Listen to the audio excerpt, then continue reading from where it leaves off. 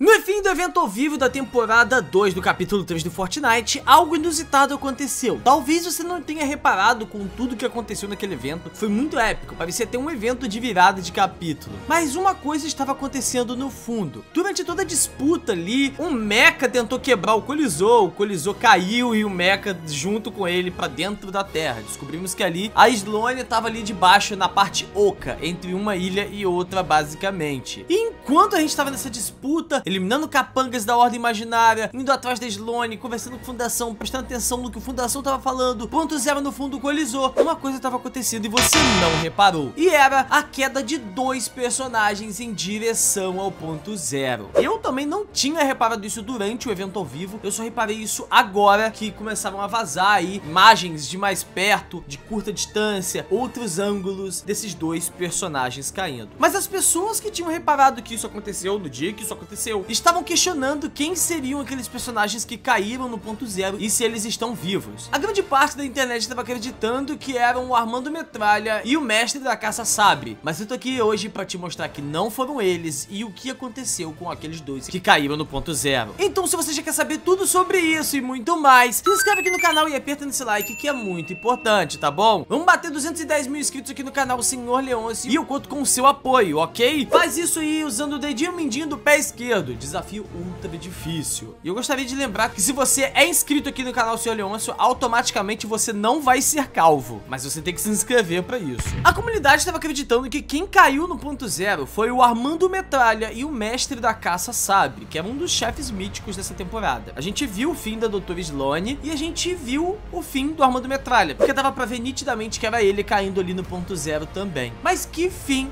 tomou aí o mestre da caça sabre. Bem, a gente sabe que o mestre da caça sabre, ele era o líder da tropas dos dirigíveis da OI aí, o departamento de dirigíveis da Ordem Imaginária, o DDOI basicamente. E a gente sabe que o mestre da caça sabre, ele era um mestre da caça e tudo mais, mas ele liderava as tropas aí de dirigíveis. E a gente viu que a maior parte de todos os dirigíveis da ilha do Fortnite, se não todos os dirigíveis, foram detonados, obliterados e destruídos pelo Mecha. Então, supondo que que o mestre da caça sabre estava em um desses dirigíveis, muito provavelmente ele foi de base. Mas como a gente sabe, todo mundo que é eliminado no loop pode retornar. Pode e provavelmente vai. Isso também vale pra Doutora Sloane, claro, que foi eliminada no final do evento ao vivo com uma pancada na cabeça aí pelo Mecha. E bem, ainda por cima ela se esconde dentro do tanque de guerra antes de ser acertado pelo Mecha, então provavelmente ela ainda tá viva. As chances são grandes dela estar viva. Mas existe uma coisa que pode eliminar os players mesmo que estão dentro do loop. Pode eliminar qualquer ser mesmo estando dentro do loop. E essa coisa é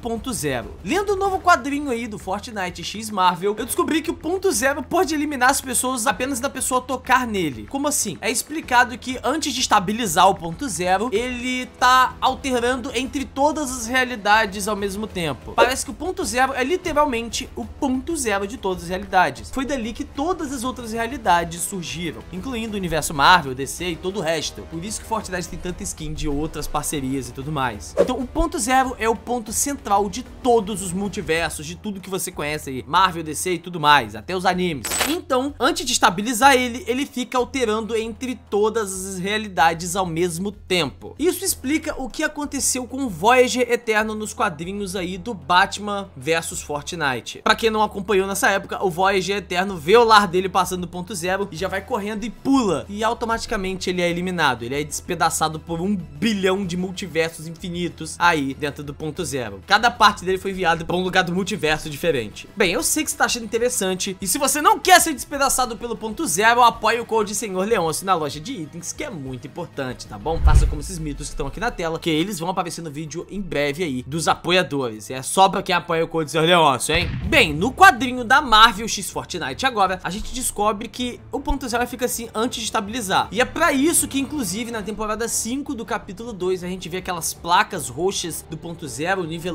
energia, mandando uma energia pra ele, pra estabilizar ele momentaneamente ali, pra galera conseguir entrar e tudo mais. É exatamente o que o Jones faz. Ele aperta o botão, a energia rebate naqueles cristais, vai pro cristal de cima, bate no ponto zero, dá uma estabilizada nele, e aí o Jones pode finalmente pular dentro do ponto zero, que é esse o objetivo, basicamente. Nos quadrinhos, isso também acontece nos quadrinhos da Marvel atual. A Dr. Sloane ainda fala, de todos os lugares você veio pro único lugar que a gente pode te eliminar, só dessa coisa tocar em você, basicamente. Ela tava se referindo ao ponto zero, logicamente. Então, no caso da Sloane, que só foi atingida pelo mecha dentro do loop, ela ainda pode estar viva. Mas existe a possibilidade do Armando Metralha e a pessoa que caiu com ele terem sido eliminadas de vez. A gente não sabe se o ponto zero estava estável ou instável naquela hora. A gente não sabe se ele estava normal ou não. Mas considerando o fato de que o Fundação e o Agente Jones pularam no ponto zero, a gente tem que considerar que eles sim estava estabilizado e todo mundo que pulou nele não foi eliminado. O que acontece é que foi revelado as duas pessoas que caíram no ponto zero ali e são nada mais, nada menos do que a Imaginária e o Armando Metralha. Algumas pessoas da comunidade estavam citando que aquilo ali seria um romance escondido e os dois caíram ali, mas eu acho que não tem nada a ver com isso, que a Imaginária estava saindo no braço mesmo com o Armando Metralha e os dois caíram no ponto zero na hora que o chão da ilha cedeu ali basicamente. E bem, eles estão brigando e os dois caem dentro do ponto zero. O que aconteceu, Leôncio? Existem duas possibilidades. Ou eles foram despedaçados por um bilhão de multiversos diferentes, ou eles foram parar em outro local. E aí depois eles se reagruparam. Bem, indo na primeira opção, caso eles tenham sido despedaçados mesmo, então a imaginária e a arma do metralha foram de base, significando que aquela imaginária que tá no loop é uma cópia, não uma verdadeira. Agora, caso o que tenha acontecido foram eles terem ido para outra realidade, o que procede depois disso aí, basicamente é o seguinte.